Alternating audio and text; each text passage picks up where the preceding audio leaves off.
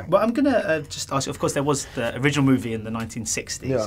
and Alan Bates obviously played the same role. I was wondering if you ever watched that movie, or if you decided sort of deliberately to try and avoid it altogether. No, I didn't watch him um, because I, I didn't want I didn't want my choices to be influenced by by um, previous versions. I, I wanted to approach it like it was the first time we would make the film. Um, but I'll see it in the in the future. I'm I'm really curious to see it. Absolutely, but um, you know, I, I wanted to have an open mind, and I didn't want you know any elements to interfere with with a very intuitive and instinctive process of of, of approaching that character. And um, and if you watch like the originals.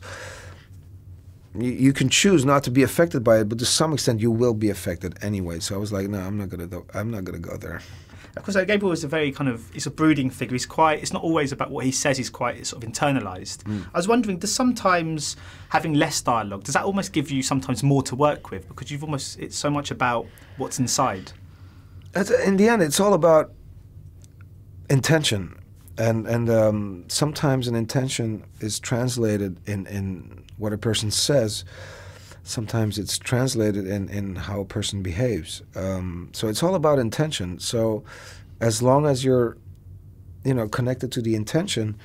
It doesn't matter if it's if it's um, translated in silence or, or, or in words. You know, it's it's um, it's all about where does the silence come from or where do the words come from that that that's the that's that's the question And of course, I mean, what with this and a little chaos and Suite Française recently, we've seen you sort of turn towards the period drama of late. I was wondering if that was a, a conscious decision or No. if, if you, these are just roles you just happened to have stumbled across at the same time. no it looks like a conscious conscious decision doesn't it? Uh, no not at all. Not at all. Um, it's just a you know it's just crazy coincidence. Um, yeah I, I don't know what I can say but it's crazy coincidence. No seriously And of course, after sort of Rust and Bone and Bullhead, I'm sure a lot of people would have asked you, when are you going to be making movies in America? And I'm, I'm sort of now turning that on its head and asking, are you going to be making movies back in Belgium or going back to France to make films soon? And do you hope to try and combine Hollywood and, and I don't know. I just go with the flow. I, I just look at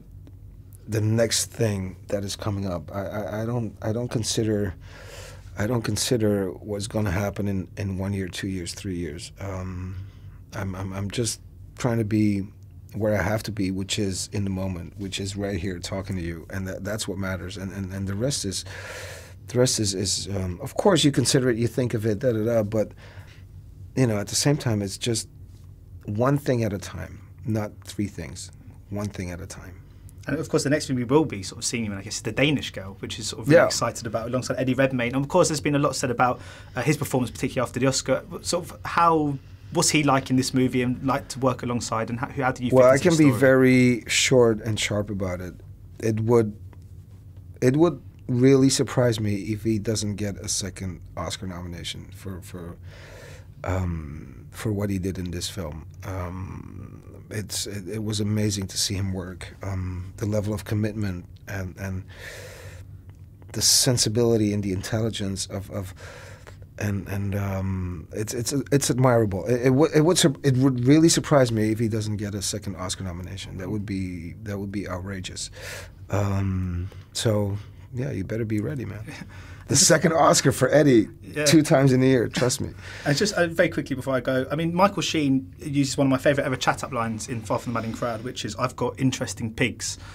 And I was just wondering if I tried that in Did this day. did he say that in He the says he's trying to kind of. I've got lure- interesting pigs. Yeah, he's, is that what he says? Yeah, he's trying scene? to he's trying to tempt her into. You know, he, he wants her to choose him. Oh, He says to her, But that's like like Gabriel Oak in the beginning. Uh, you could have a frame for cucumbers. Yeah. When I read that, I was like, man, that's not gonna work. If I tried, I've got interesting pigs now as a chat line. Do you think I'd have any luck Um, depends where you are.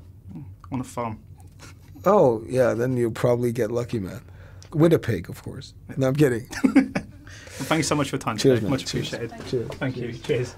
Ladies and gentlemen, you're watching Hey You Guys! Hey, you guys, huh? Hey, you guys. Is that from the Goonies? It is indeed, yeah. Nice. Hey, you guys.